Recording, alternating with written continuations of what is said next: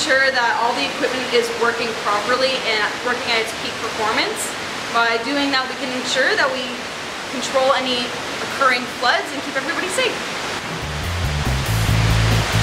Okay, so what we're doing today, we're going down to lubricate all the roller wheels. So now Ian's gonna lower me down. Um, it's probably 30, 40, 50 feet to the bottom.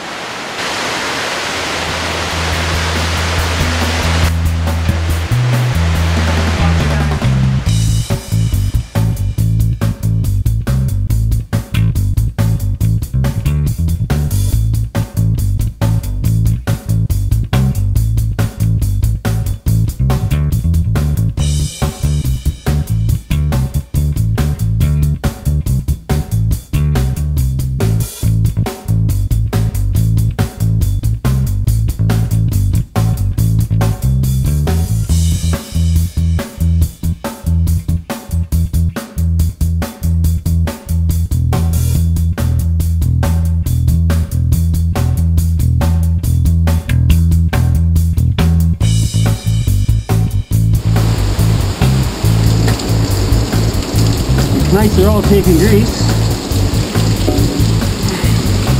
Now we can move over to the other side.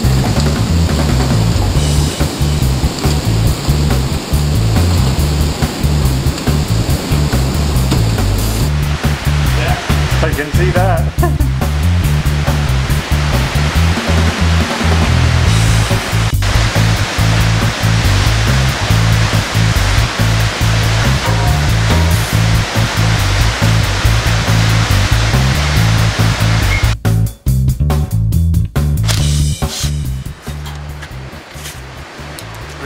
removing the bolts to hold their grates down. And now we can remove our grate to uh, install our stop block.